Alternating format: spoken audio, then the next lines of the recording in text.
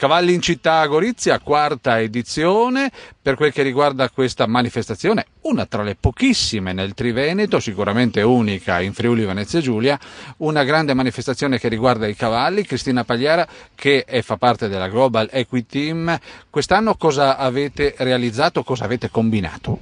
Quest'anno abbiamo voluto esagerare, ci siamo allargati faremo due manifestazioni. La prima è quella tradizionale che da quattro anni eh, riproponiamo e si svolgerà il 24, 25 e 26 di giugno, sempre nella stessa eh, location che si presta per questo perché è unica direi, se non altro in Friuli e, e probabilmente anche nel Triveneto.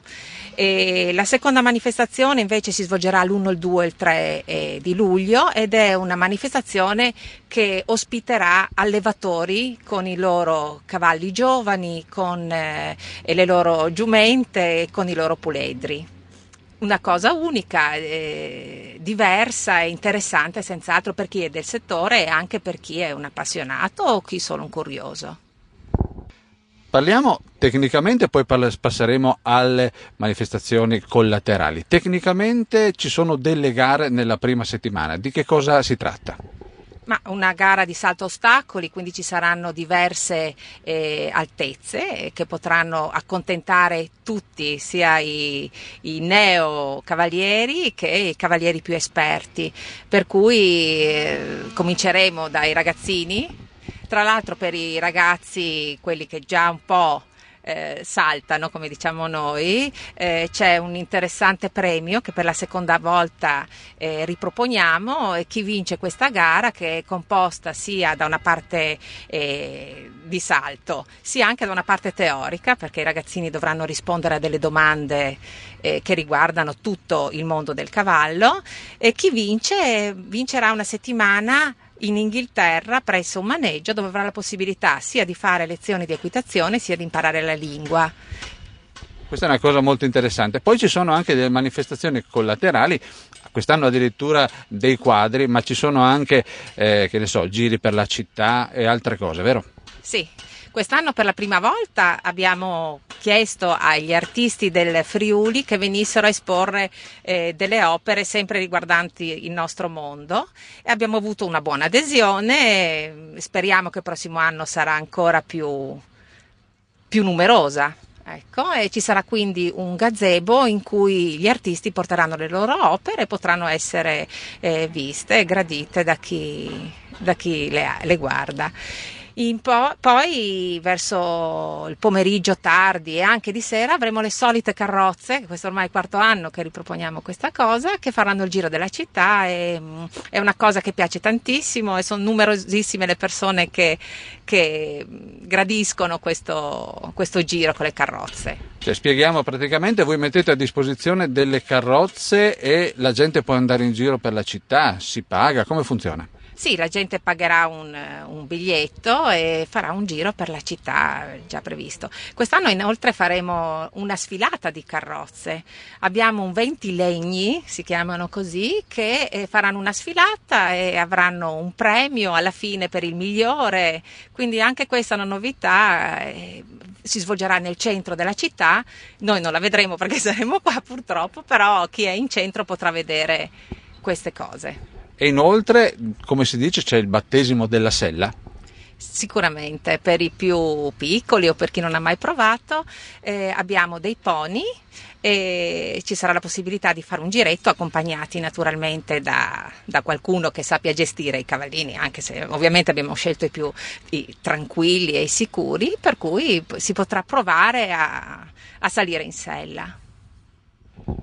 Per la città di Gorizia questo è un momento veramente di essere alla ribalta nazionale. Ci sono stati coinvolgimenti anche senza grossi sforzi, vero?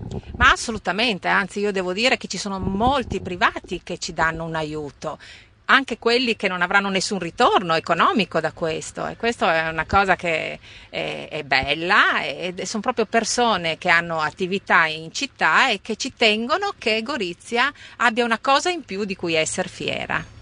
Quindi significa che avete colpito nel cuore i goriziani? Ma lo speriamo. Questa manifestazione unica nel suo genere nella nostra zona ha avuto anche il piacere, sicuramente per gli organizzatori, di entrare nel top 50. Siete tra le 50 manifestazioni che la regione considera di assoluto valore. Sicuramente. Siamo rientrati in questa classifica delle 50 manifestazioni più belle e interessanti della regione, per noi è un onore e siamo grati alla regione che ci ha accompagnato, ci ha fatto crescere e ci ha aiutato anche a fare tutto ciò.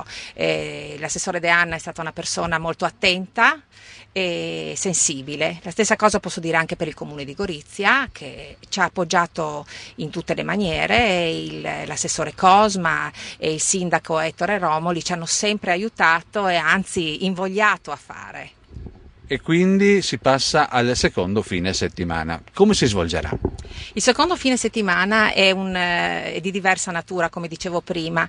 Ci saranno fattrici con i propri puledri, ci saranno cavalli giovani che si cimenteranno in questi percorsi che per qualcuno naturalmente può essere anche una novità o comunque un ambiente nuovo e una cosa un po' più tecnica. E ci aspettiamo iscrizioni da tutto il Friuli sicuramente e anche dal Veneto. E, ripeto, è una novità per cui staremo un po' a vedere come funziona. Questo secondo weekend funzionerà che se uno viene a vedere ci sarà una sfilata di moda in un certo senso della bellezza di, degli animali.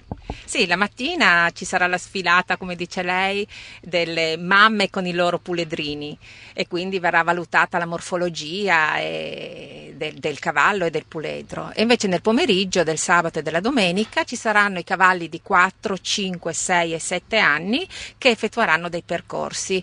E mm, ci saranno due giudici che le valuteranno, un giudice tedesco di fama e un giudice francese, anche lui di fama, e ognuno nel suo settore valuterà il, eh, il salto e anche il movimento del cavallo e anche il binomio cavallo e cavaliere.